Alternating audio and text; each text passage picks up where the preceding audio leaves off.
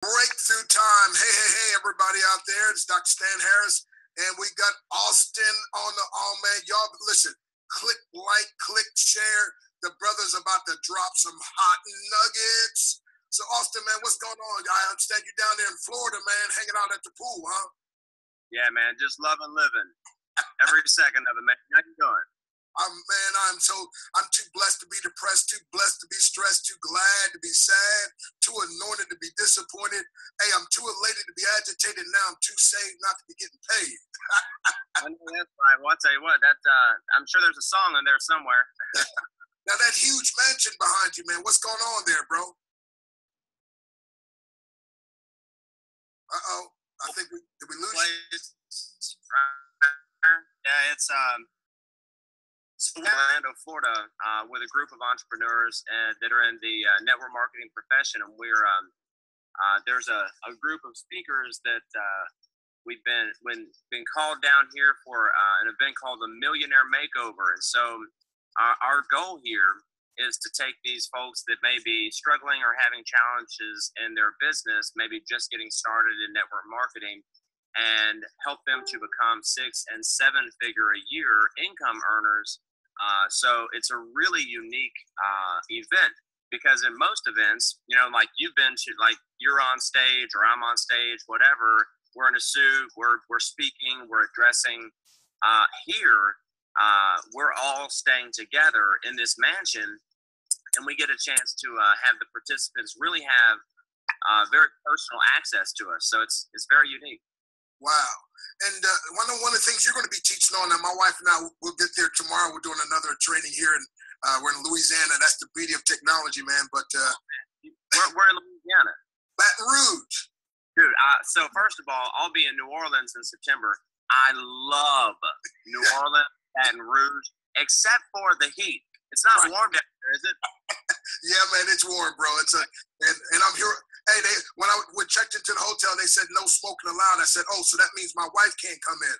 They said, what do you mean? I said, she's smoking, bro. but hey, but check, but check this out, bro. Man, you got to break this down. So you teach people. You're going to be training and speaking on storytelling and sales. Give us a little heads up. I know because you've been top of three different companies using some of these techniques. So come on, man, talk to us. Yeah. Yeah, so um, we'll be going a lot of stuff. Like last night, it wasn't actually the event, but uh, I was here with five other participants. Uh, I was the only speaker. I was the only guy as well. But um, so I was here with them, and, and you know we got a chance to do some masterminding, and I got a chance to you know pour into some of these these people. Um, but one of the things that Thomas has asked me to speak on is the art of storytelling. See, a lot of people uh, don't understand that they don't have to necessarily be an expert presenter. Okay, they don't have to learn a big presentation with PowerPoints and all this stuff. If they become uh, well versed in the art of storytelling. And so, if anyone's ever seen me do a presentation for a company that I, I was in, all I was doing was telling the story of what brought me to that point in time. And um, I pepper in you know the uh, the product, uh, the strength and stability of the company. I touch briefly on the compensation, and uh, maybe even share one or two quick testimonials. So, like the last company that I was building actively, uh, the presentation that they still use is my story, which is about seven minutes long total, and it touches on every piece that you would need to know before you made a decision to get involved. So I'll uh, I'll show them how to do that and then if I know that you, uh, because you're you know you're a seven figure earner, and there's there's probably you know a couple six or seven figure earners watching this or might watch the replay.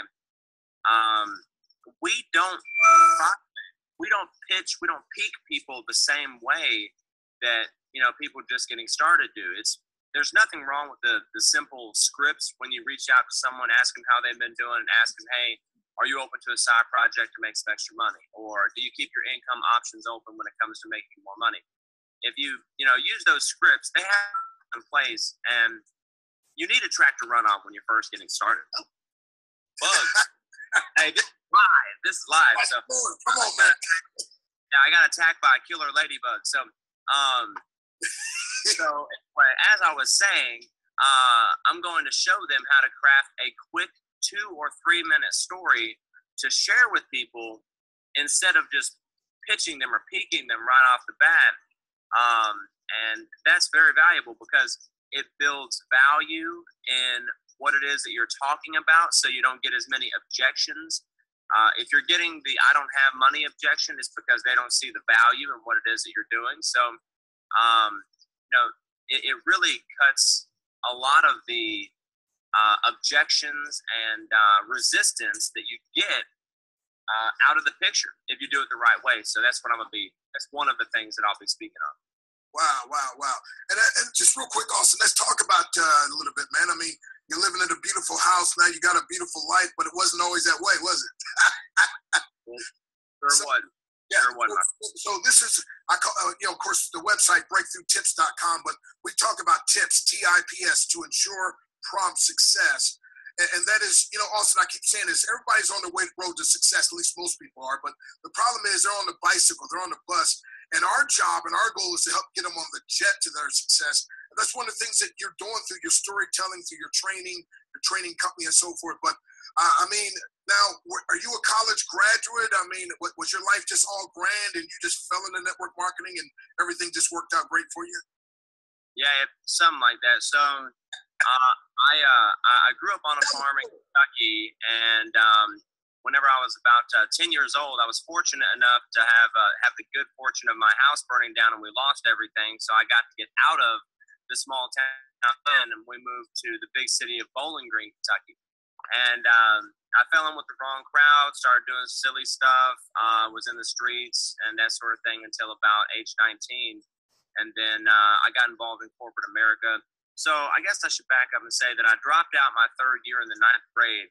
Uh, never, never went to college. I did get my good enough diploma, my GED, and uh, so um, it's a situation where uh, whenever I first got involved in network marketing, I wasn't very good. Um, I didn't have anybody mentoring me. I didn't really, I didn't know anybody in the space, um, and my friends list was, you know, very uh, I don't even associate with the majority of those people anymore for for good reason. But um, so I had to build an entirely new network. Uh, so I was, you got to be bad before you're good, good before you're great. We all go through the same process, and I was very bad whenever I first got started. So I was looking for the light in time of a darkness, and now since uh, you know what they say, whenever you get to the top, you still got to send the elevator back down. So that's what we're doing now is looking for people uh, that are maybe in that that time of darkness to guide them to the light. And I'll I'll, I'll wrap up that rant with a quote that um, is one of my favorites. It says, uh, "the uh, the quickest and easiest path to success is directly through the experience of others." yes, I like to say you're either going to learn through mentors or mistakes. The problem is mistakes cost too much, so I want to learn from mentors' mistakes, right? And uh, so, so this is but, but Austin, this is anti what we've been trained. You know, we were trained go to school, get good grades, go to college, you know, get a job, live happily ever after. And that formula is just not working. And so I love this home based business space because what you're saying is, I mean, based on the quote unquote world standards, you don't qualify to be making the kind of money you're making, to live in the kind of house you're living, to drive the kind of cars, to have the freedom, to have the prestige and all that. But this whole home based business industry changes everything. Is that correct? Okay, that is very correct. So, you know, it's magical whenever you can reach out to a few people and you can teach a few to get a few to get a few. Right. And, um, you know, it's, it's cool because the biggest team I ever built in one year was 34,000 people in one year. And if you think about just getting, we'll just call it three or four dollars a month from all 34,000 people, I mean, that's still quite a bit. So a little bit of a lot ends up being a lot. Exactly. Yeah, that's why I always say, you know, everybody can't be a CEO or CFO or COO, but everybody can be a CLO. That stands for Chief Leveraging Officer. So Archimedes said, if I had a lever long enough and a prop strong enough, I could single-handedly move the world. And so, uh, you know, when I used to travel, speak with Jim Rohn before he passed, you know, he made the statement that what you lack in skill, you can make up for in leverage. And Austin, that's not just what you've done, but now you're an expert at teaching people also the art of storytelling and selling to for them because I mean, it's one thing for you to have the success, but the great thing is that you've been pouring back into other people. And that's why you're at the event speaking and training. But also, some of these folks won't get the good fortune of rubbing shoulders with you. And, you know, you and I sometimes when we speak at these places, like you said, you're, you're speaking and you're out. But here at this event, uh, they get to rub shoulders with you and everything else. But it's too late for the folks now, but they can get the digital downloads and they still can learn. It's almost like looking over people's shoulders and uh, and so, folks, www.breakthroughtips.com if that's something you're interested in, still getting those digital downloads. And Austin, I know that one of the bonuses, if somebody's a quick action taker, they're not just going to get this powerful $5,000 value bought messenger bot, you know, that is going to help them to literally put their business on autopilot, but they get to be in this best selling book with people like yourself so talk a little bit about that power of influence and what kind of story somebody could use if they get to be in that book with you and the other powerful speakers. Yeah, sure. So, um, you know, what's really neat is Thomas, Thomas Alexander has just put together such an incredible value proposition. And there's so many different things that people get, even just for getting the digital download.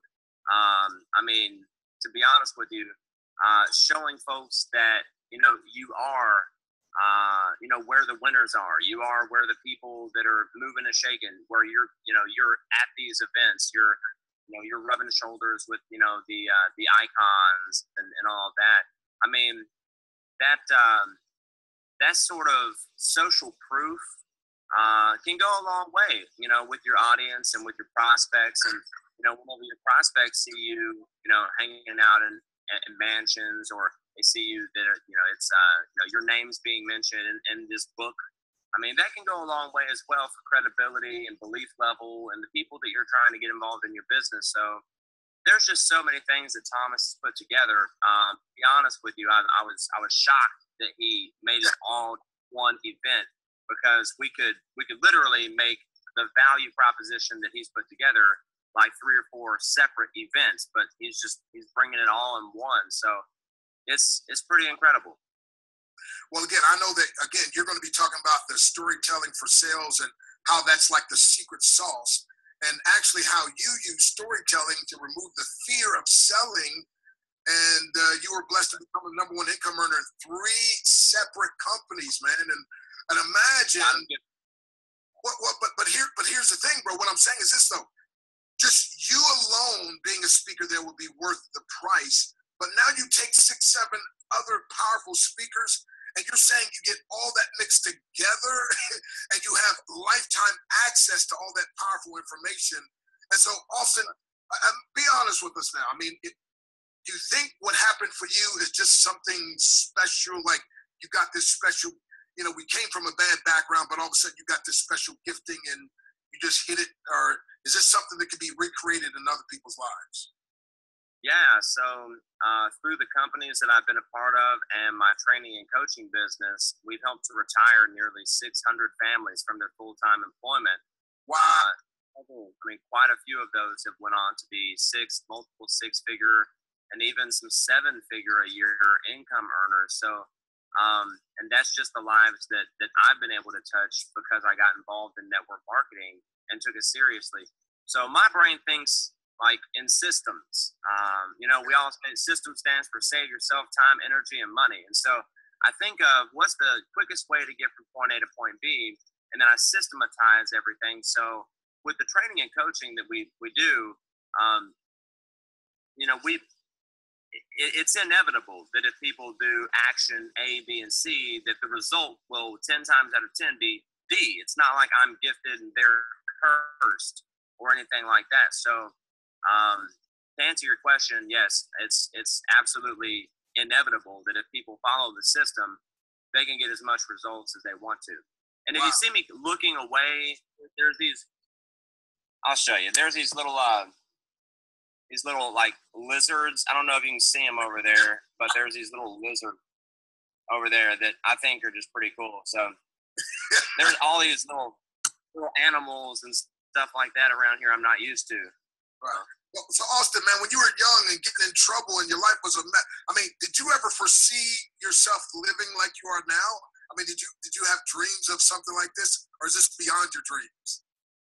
Man, so my friend, uh, there was a point in time in which I had um, pretty much given up on life, and I, I was literally um, giving serious thought to standing on the street with a sign uh, begging for money. So um, to to think that uh, that I could have bought my dream house and paid in cash last year, or helped to retire hundreds of families or been on the front of magazines, been a best selling author, uh, driving exotic cars, retired my mom, um, giving my kids the ability to, you know, vacation in some of the best resorts in the world. And um, I'll be honest with you, I, I really didn't see it going this far. Um, I given uh, given up hope on life itself, but um, you know, our, our God is a generous God, and you know, it's a situation where um, if you do right by others, if you enter the world with love in your heart, as it says in the greatest salesman in the world, Bob Mandino, um, if you become a student of your your profession and you sharpen your skills and you're consistent and persistent, then success is really just the only outcome possible. Wow, wow, folks! By the way, I see some of you with your hearts there, and hey, William Wright, Roger, bunch of you out there, uh, get some shares, get some likes, get some hearts. I mean, Austin's dropping some powerful tidbits, and we're gonna have to close out here. Let him get back in that mansion and and uh, let those folks enjoy it. But folks, I'm telling you, um, and also let's let's just let's just be honest about this. Now, I've had days where people have had you know come do a doctor breakthrough day with me, and they pay five thousand dollars. We're talking about all of us different trainers that are involved in this special event if somebody goes to breakthroughtips.com, they can get the digital downloads of all of this. And I know you've got some training, some different things you've done that just far exceed the price. And, and the fact that he made this so affordable, so easy. Do you think that somebody really ought to take advantage of this? Um, or should they just let it go? um, you know, so what's what's the price again for the digital download? Uh, 497 I believe it is. If they go to breakthroughtips.com, they'll see that. That's for everything. And if they're one of the first 10 action takers, they get to be part of the book. And if they're one of the first 10 action takers, they also get the bot. If they're one of the first 10 action takers, they also get the funnels and all that. I mean, it's just, it's crazy. Yeah, so 497 Wow. Well, so we spent over a $100,000 last year on coaching and training alone. Right. Um, so once again, um, the quickest and easiest path is directly through the experience of others. Guys, you don't want to go out there and have to spend 120, 130 thousand dollars on training this year. Spend 497 and get the digital download. I mean, it's really. I'll be honest with you. That's it. You know, if, and if, it, if it's your last four like if you've got 497 dollars and 32 cents in the bank, then you know, you still got 32 cents left over and you can take that 497 and go ahead and make millions from it if you actually want it. Okay. So, I mean, if, if you're just going to buy the training and then not watch it, not use it, it's going to be like a book that sits on the shelf, and you know, don't get it. But right. if it's a situation where you want more out of life, you have more ambition than you have opportunity, you have a vehicle, but you may not necessarily have the keys, we're giving you the keys. Come so, on definitely get the digital download and make sure that the next event we have like this that you're there well and you know it's been said you know it's all about self development not shelf development right. and i'm so glad austin you said that because these people don't understand that these speakers that are there like you said many of them have spent 50 60 70 100 thousand dollars and like i said not over their career in a year on their own personal development and other folks look like I can see people looking at you now saying, "Man, I wish I could be like that guy," but they don't see you back where you were, and they don't understand the steps that you had to take. And you're simply now teaching people, training people, trying to give them those steps. And sometimes, you know, people look at you like, well, if I was like you, Austin, if I was lucky and blessed like you, and they're like, no, you don't get it. Every, I keep telling, hey, Austin, would you say amen to this one? Every master was at once a mess. Therefore, every mess can one day be a master. I know that's right. And whenever I first saw network marketing, I was homeless. I was sleeping couch to couch. That is a fact. And so I uh, I was working in a factory 12 to 14 hours a day. And the company that I was looking at was 330 660 or $1,320 to join. And I don't do anything halfway. So what I did is I literally sold everything I had. I mean, I, I sold DVDs and got a dollar out of them. Uh, I sold everything, paycheck, and I signed up at the highest level. And so there was a great deal of sacrifice in that. So if a homeless man can come up with thirteen hundred dollars, then you can come up with four hundred ninety-seven bucks to invest in yourself. Exactly.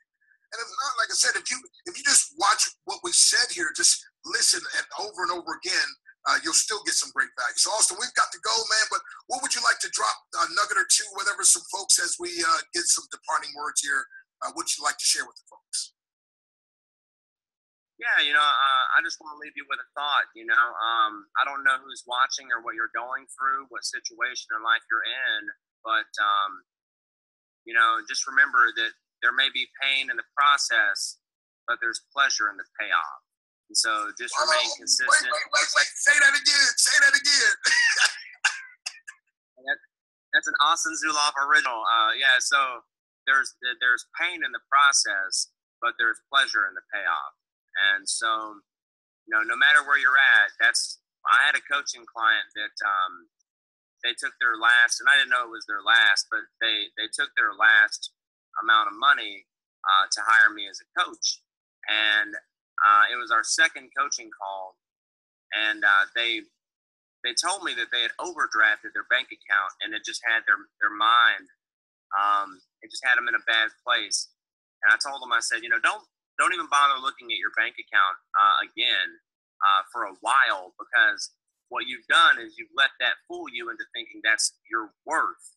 Right. So your your current situation that doesn't dictate your future. That's not your worth you know. So um, just begin with the end in mind, know where you're headed, and look to people uh, like you know this gentleman right here, uh, Dr. Breakthrough, or myself, or any any of the other coaches or mentors to uh, to help guide you. You know, that's what we're here for.